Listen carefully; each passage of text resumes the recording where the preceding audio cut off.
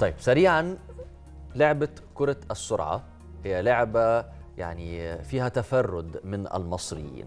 هاجر أحمد رمضان حصلت على الميدالية الذهبية في بطولة العالم لكرة السرعة للناشئات فردي السولو اللي أقيمت في دولة تونس الشقيقة وحققت رقم عالمي جديد. صباح الخير يا هاجر وألف ألف مبروك على الميدالية الذهب. صباح النور الله يبارك في حضرتك. احكي لنا كده البطولة وكرة السرعة إحنا متفوقين في مصر يعني يمكن الرياضة كمان ابتدت في مصر كرة السرعة. فاحكي لنا كده إزاي ابتديتي اللعبة لغاية لما وصلتي للميدالية الذهب. آه، أنا ابتديت اللعبة من وأنا عندي خمس سنين آه، بس ما كنتش يعني كنت بلعب كذا رياضة. آه، ابتديت إن أنا أشتغل على نفسي إن أنا أبقى كحد بروفيشنال يعني من وأنا عندي 8 سنين. آه، ابتديتها بإن أنا كنت معدية قدام الملعب. فعجبني شكل اللعبة واللعيبة فقلت أجرب.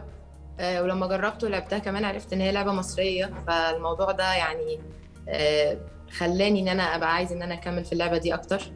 وكنت بشوف أبطال عالم لأن مصر هي متصدرة اللعبة دي فكنت بشوف أبطال عالم عندنا في النادي وفي البطولات من نوادي تانية. فالموضوع ده خلاني إن أنا أبقى عايزة أكمل في اللعبة دي.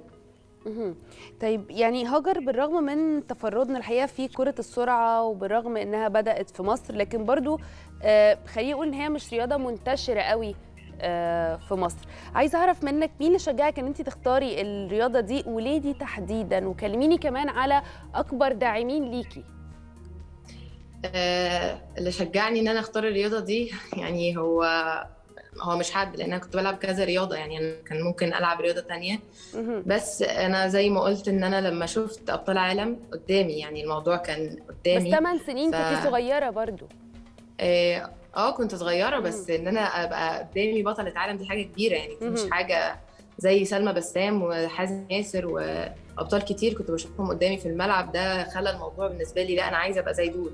إنما في النادي عندنا الرياضات التانية ما فيهاش أبطال عالم قوي ممكن يبقى أبطال جمهورية عرب ما فيهاش أبطال عالم في الرياضات التانية. إنما كنت في السرعة بشوف البطل قدامي كده فاللي هو ببقى عايزه أطلع زيه. بس فالناس بقى اللي هي اللي, اللي يعني شجعوني من بداية مسيرتي إن أنا أكمل أو إن أنا أقدر إن أنا أكون زيهم بطلة عالم أمي وبابا طبعا. وطبعا مدربيني زي كابتن أحمد الأمير ده شجعني في بداية مسيرتي كابتن أحمد صبحي مدرب ال fitness. آه، دي كلها ناس كانت هي السبب إن أنا كملت أو صدقت نفسي إن أنا أقدر أوصل للي أنا وصلت له دلوقتي. طيب بطل العالم بيبقى محتاج تدريبات دايما مختلفة. يعني محتاج عدد ساعات تدريب محتاج يبقى عنده fitness بشكل معين. تفاصيل كتير يعني بيبقى متابعها بطل العالم. وخصوصا إن انت في مرحلة الناشئات فانت كمان بتدرسي فقولي لنا انت في سنة كام وإزاي وفقتي بقى ما بين التمرين وتفاصيل التمرين والدراسة أنا أنا في ثالثة ثانوي. السنة دي. فأنا الموضوع بالنسبة لي صعب يعني مم. آه، في ضغط نفسي وضغط في الوقت وضغط في كل حاجة فاللي بيساعدوني إن أنا أتخطى الموضوع ده هم مدربيني سواء في الملعب آه، سواء آه، أهلي هنا في البيت. كل دول بيساعدوني. أنا من غيرهم ما أقدرش أوصل اللي أنا وصلت له أو ما أقدرش كمان إن أنا يبقى في توافق بين ال- التمرين والدراسة. يعني بس فهم بيساعدوني إن أنا أعمل حاجة زي كده. طبعا كابتن علي جمعة مدير الفني كرة السرعة في نادي رواد. بيساعدني على إن أنا آجي الملعب آه، وأروح أتمرن في الملعب. يعني إن أنا يحصل توافق بين مثلا المدرسة والتمرين فهو بيساعدني على إن أنا أعمل حاجة زي كده. طيب هاجر ما شاء الله يعني أنت حققتي آه، رقم آه، قياسي. وأكيد البطولة كانت كانت صعبة جدا وكان في لاعبين كمان آه، مميزين مميزين. عايزة أسألك عن أصعب مرحلة عديتي بيها إن كان قبل البطولة خلال استعدادك للبطولة أو خلال البطولة نفسها. آه، أصعب مرحلة عديت بيها كانت مرحلة التصفيات. لأن كان في آه، يعني كان في كده اللي هو إحنا عرفنا قبلها عرفنا قبلها بوقت قصير فاضطريت إن أنا أجهز في وقت قصير برضو. آه، وكمان كان في مرحلة صعبة مرحلة اللي هي قبل اللعب.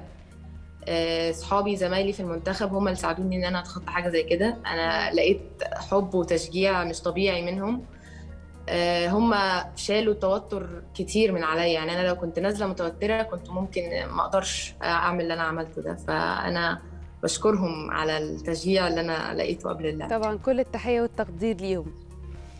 قولي لي آه، هاجر آه، لعبة كرة السرعة آه، مش من الألعاب الجماهيرية قوي وللأسف إحنا يعني ال- ال- الألعاب اللي مش مسلط عليها الضوء أحيانا بيكون ناقصها حاجات. فبما إنك أنت بطلة ومعاكي ميدالية ذهب إيه اللي ممكن يكون ناقص كرة السرعة في مصر؟ آه، اللي ناقص كرة السرعة في مصر يعني إحنا محتاجين طبعا دعم من وزير الشباب والرياضة آه، أكتر من كده. آه، الدعم الدعم في الرياضات مش متساوي. بس آه، وأنا أنا مش بطلب انه يكون متساوي أنا عارفة ان دي حاجة صعبة بس آه، يبقى في نسبة آه، تساوي بين الدعم في الرياضات. فأنا بخاطب وزير الشباب والرياضة إن هو يدعمنا أكتر من كده. إحنا نقدر إن إحنا ننشر اللعبة دي لعبة آه، يعني هي لعبة جميلة لعبة يعني أي حد بيلعبها بيتعلق بيها على طول أي حد يتفرج عليها بيحبها. فأنا كنت آه، يعني نفسي إن إحنا ندعمها أكتر من كده.